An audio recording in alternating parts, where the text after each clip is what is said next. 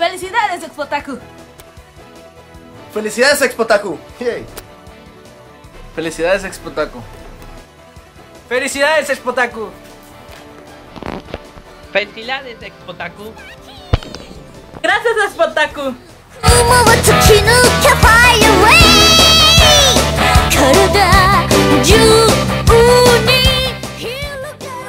Mi nombre es Core, soy la líder del grupo Kana. Eh, llegué al Expotaku porque un amigo me invitó. Yo no era muy eh, fan de los videojuegos y el cosplay y el anime, pero en la Expotaku pues nos atendieron muy bien a los dos y me divertí mucho y eso hizo que me quedara. Mi mejor momento en Expotaku yo creo que fue mi cosplay. Cuando hice mi primer cosplay pues la gente me atendió muy bien, fueron muy atentos conmigo y, y eso me impulsó a que yo sacara mejores cosplays y con la ayuda del grupo Kana pues mejorar.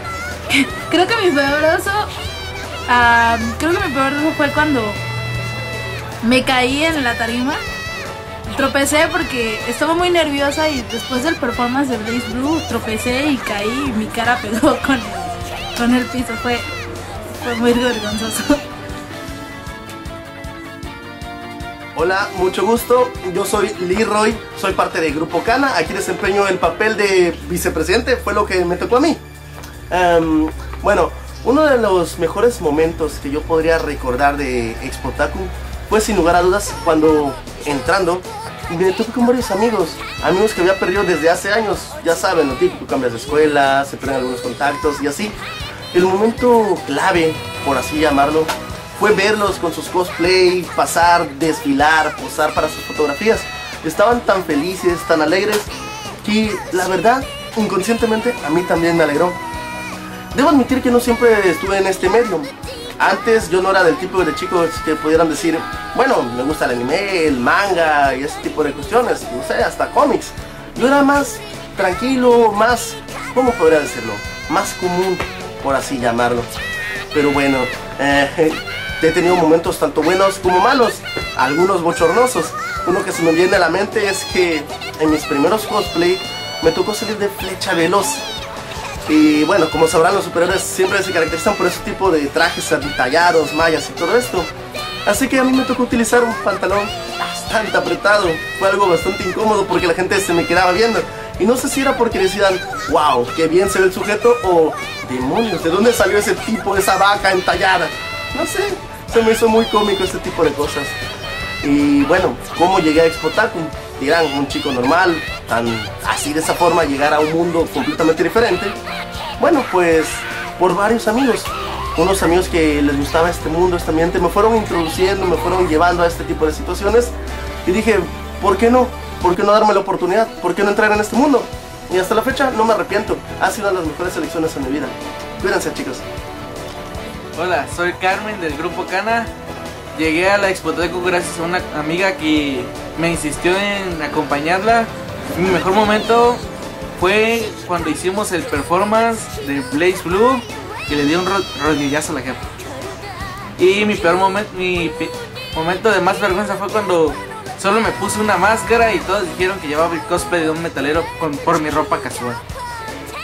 Hola, soy Kaname, pertenezco al grupo Kana. Llegué al Expotaku por primera vez cuando la jefa me invitó por primera vez a un Expotaku. Este, mi mejor momento en Expotaku fue cuando hice mi primer cosplay. Fue de- del personaje Arakune de Blaze Blue.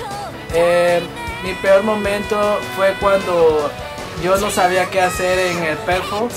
Así que este, estuve muy nervioso, no sabía qué hacer. Ok, soy Otami del grupo Kana. Mi primer Spotaku fue cuando me invitaron, fue cuando llegó la dobladora de acá. Y este, mi mejor momento fue cuando me tomé con todos mis amigos del grupo Kana una foto de recuerdo. Y mi peor, mi oso fue cuando me caí enfrente de uno de los organizadores. Es, algo que, no, no, lo quiero recordar eso. Hola, soy Neko Susi y soy parte del grupo Kana. ¿Cómo llegué a la Expo Taku? Bueno, fue algo muy interesante porque en esa expo fue el primer cosplay de mi hermana de Hinata y el mío fue de Midori no Hibi. Y la verdad me encantó mucho la atención, especialmente de Sara, que fue la que nos atendió. Fue muy amable, una de las personas más lindas que he conocido. Y desde ahí no falta ninguna Expotaco. Am, los mejores momentos de la Expotaco han sido que he conocido mucha gente maravillosa que han sido hasta ahorita amigos que ahora sí que no los cambiaría por nada. Y aparte pues conocí a mi novio. Y uno de los peores momentos o osos vergonzosos que he pasado fue que cuando me fui de Taucaca, mis amigos se burlaron de mí, me hacían bullying porque como tenía manos muy grandes por el traje, pues no podía abrir nada, era todo inútil. Tenían que dejarme de comer a la boquita y se burlaban diciéndome, tómame fotos, ¿sabes poner pupilentes? Y, y me sentía yo. Y aparte como traía máscara me pedían fotos y yo sonreía y no sabía por qué, porque traía máscara. Fue algo muy chistoso.